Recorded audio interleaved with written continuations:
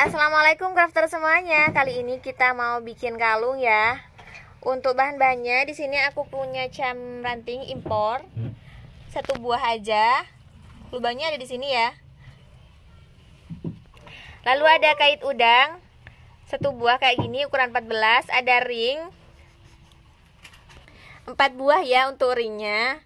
Ada yang lebih besar, ada yang kecil tiga. Lalu aku pakainya ring opener kayak gini ya ngepenirnya.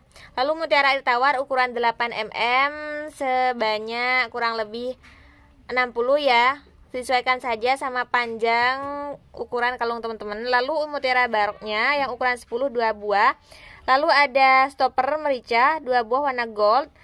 String kabel ya ukuran 0,3 satu kita potong aja nanti sekitar 1 meter ya atau disesuaikan aja.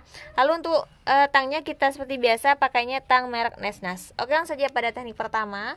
Dan jangan lupa ya lemnya kita bisa pakai lem B7000 atau lem tembak ya.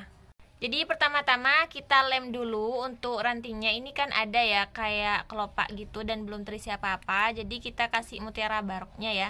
Kita lem menggunakan lem B7000 Nah, kayak gini ya. Satunya juga ya, jadi ada dua kayak di sininya. Jadinya seperti ini ya, udah cantik banget. Lanjut kita rangkai dulu kalungnya pakai string kabel. Masukkan mutiara air tawarnya ke string kabelnya dan jangan dipotong aja dulu, takutnya nanti kepanjangan atau kependekan ya. Kalau mutiaranya udah dirasa pas panjangnya, lalu kita masukkan stopper. Nah, kayak gini dan kita jepit ya seperti biasa. Nah kayak gini. Nah setelah itu kita pasang juga ya string kabelnya seperti ini. Mohon maaf stoppernya ya di bagian ujungnya jadi panjangnya sudah seperti ini. Lanjut kita pasang ring di bagian stoppernya kita buka dulu pakai ring opener. Nah kayak gini.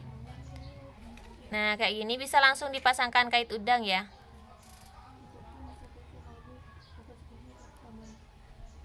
Nah seperti ini di ujungnya kita juga kasih ring ya.